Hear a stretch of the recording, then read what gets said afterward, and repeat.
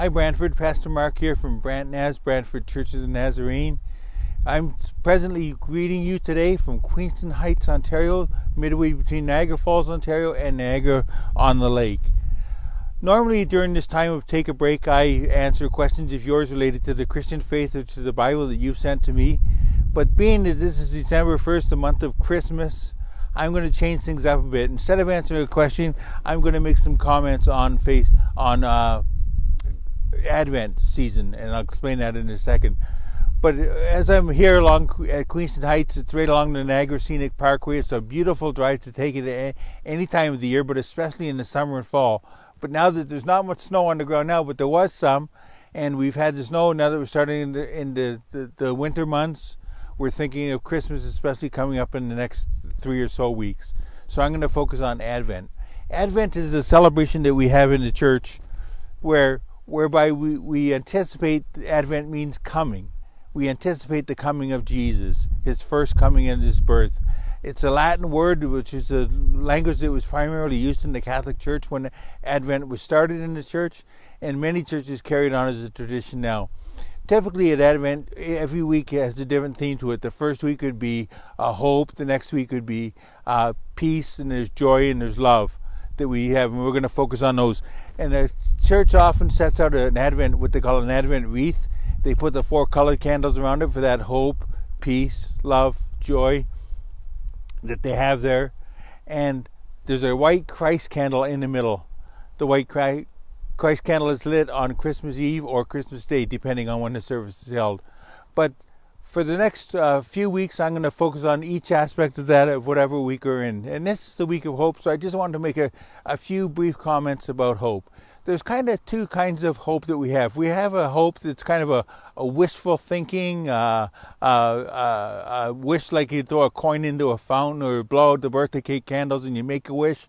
It's kind of something you don't expect to come true. I can remember when I was a preteen, particularly uh, at that age, I the Sears catalog, Christmas catalog, winter catalog would come in, or the Canadian Tire catalog, and I would spend some time going through it looking at the hockey equipment because I had a wish, I had a hope that I could get some hockey equipment. Now there was about as much chance of me getting that hockey equipment as the Toronto Maple Leafs winning the Stanley Cup and me being able to watch it. So you know what chance I had of um, getting that hockey equipment. Well, that's the one kind of uh, wish where you or hope you have. You you put your hope in things. But the kind of hope I want to talk to us just briefly about today is the kind of hope that we get through Jesus Christ. As we anticipate his first coming, Advent is a time to prepare for his second coming as well. And we have a hope in Jesus Christ. We're told to be prepared to give an answer for the hope that we have. Now, the reason the reason Jesus' hope is different is because it's based on something already completed. What he did on the cross and through his resurrection and ascension into heaven, he already assured us that we could come to a restored relationship with God the Father. And so our hope in Him is a trust, it's an assurance, it's something that we can depend on as we do that. So as we enter into the Christmas season, place your hope in Him, trust in Him, uh, follow, follow, follow, Him, and have true, genuine hope that even though uh, circumstantial hope depends on the circumstances around us, but the dependence of the hope that we put on Jesus Christ, it doesn't matter what the storm is that we face around us, we can have that assurance of hope that we have in Him. So, this Christmas season, let it be a season of hope. And I look forward to talking to you next week again as well about uh, the other aspects of the, the love, joy, and peace that we can have. But just in closing, I'm just going to say to us may the God of hope fill you as you follow Him, so that you may abound in peace, have all peace and joy, and that you may have hope in abundance, that you may have hope that overflows by the Holy Spirit.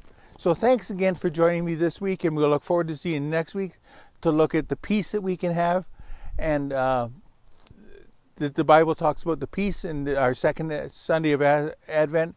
But I would encourage you uh, join me every week for this uh, take a break time with myself, or you can join us on Sunday mornings, either live in person at 347 Fairview Drive in Brantford, or online at, at the same time as Sunday morning at 10:30 right here on Facebook Live. We stream our services live. So look forward to seeing you either Sunday or next week, whether it be in person or online.